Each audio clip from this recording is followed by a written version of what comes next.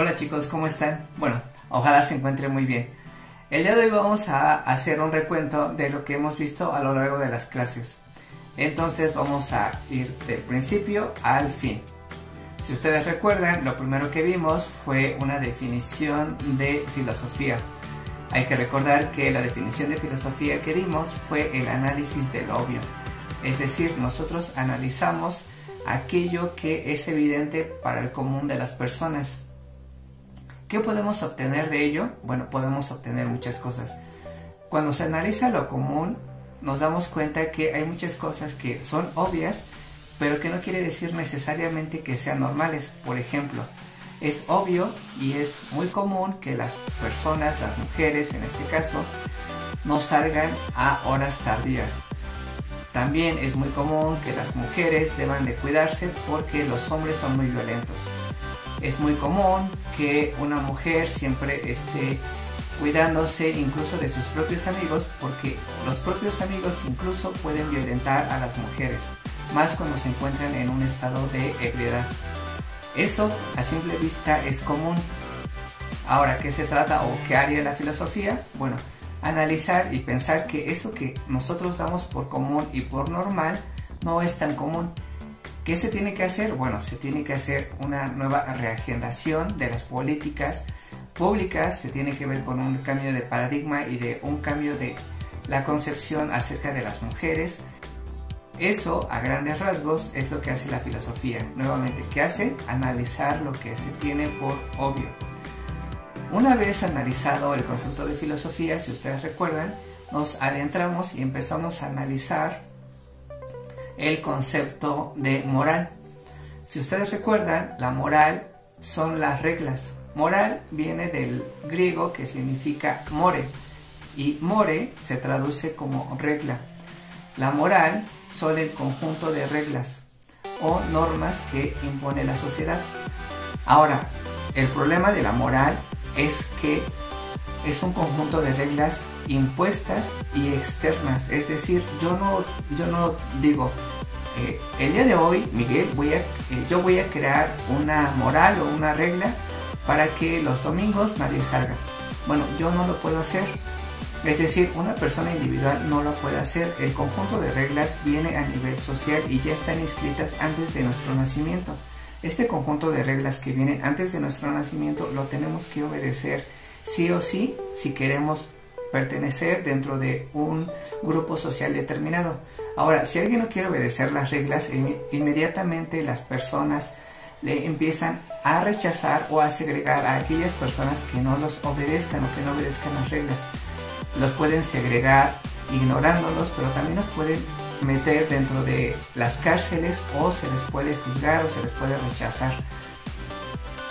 Ahora, estas reglas, este conjunto de reglas puede ser absurdo. Por ejemplo, pensemos en la época romana. En la época romana era normal y una norma específica era que los esclavos no eran personas y los esclavos tenían que obedecer.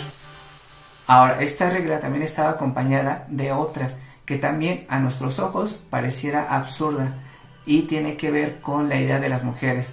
En el mundo griego como en el mundo romano antiguo, las mujeres no eran sino solamente un objeto. La mujer se encargaba del cuidado de los hijos, es decir, era procreadora, también cuidaba a los hijos y se encargaba del mantenimiento de la casa. Ese era su único objetivo. Cualquier persona, cualquier mujer que intentara romper esas reglas, se le juzgaba. Por otro lado, si ustedes recuerdan, también nosotros analizamos diferentes autores. Ahora cada uno de los autores nos daba una concepción ética sobre lo que es correcto o lo que es incorrecto. Y Kant nos plantea una idea fundamental, es atrévete a pensar. Cuando uno se atreve a pensar, es decir, cuando más allá de quedarse con lo que le imponen, se atreve a pensar por su propia cuenta, entonces, según Kant, están utilizando lo más humano de sí mismos, es decir, la capacidad de pensar. Según Kant, lo fundamental es que nosotros nos atrevamos a pensar. ¿Para qué? Para que entonces derroquemos ideologías. En este caso podemos derrocar la ideología del machismo, podemos derrocar la idea del especismo. Recuerden que el machismo cree que es superior a las mujeres. El especismo considera que el humano es superior a otras especies. Por otro lado, eh, nos adentramos mucho en las ideas de la bioética. Recuerden que la bioética analiza aspectos éticos relacionados con la vida desde el término de la ciencia. Esto incluye la medicina, incluye la biología principalmente, así como las relaciones que existen entre los seres vivos y la tecnología. Bueno, esto hace la bioética. Esto nos permitió a la vez analizar el concepto de transhumanismo. Recordemos que el transhumanismo es una corriente cultural, científica, que tiene el objetivo de transformar la condición humana. Ahora, aquí entramos en una serie de dilemas éticos que a lo largo de los videos hemos analizado. Tiene que ver con la idea de los trasplantes de órganos, tiene que ver con la superlongevidad, tiene que ver con la idea de la superinteligencia. Además, tiene que ver con una cuestión de la superfelicidad. Ahora, como mencionó alguna vez Walter Benjamin, todo documento de cultura es a la vez un documento de barbarie. Y esto, si ustedes recuerdan, también ya lo habíamos analizado. Es decir, todos los beneficios de la cultura, por ejemplo, un teléfono, una carretera, tiene grandes beneficios para la humanidad, pero toda producción cultural tiene a la vez una serie de problemas que tenemos que resolver. Y esta no es la excepción, es decir, el transhumanismo no es la excepción.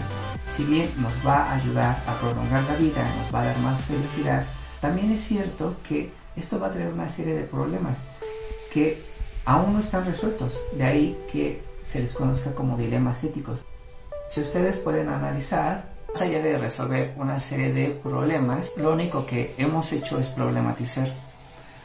Y en este sentido, mi gran invitación para todos ustedes. Ustedes son el futuro de la humanidad.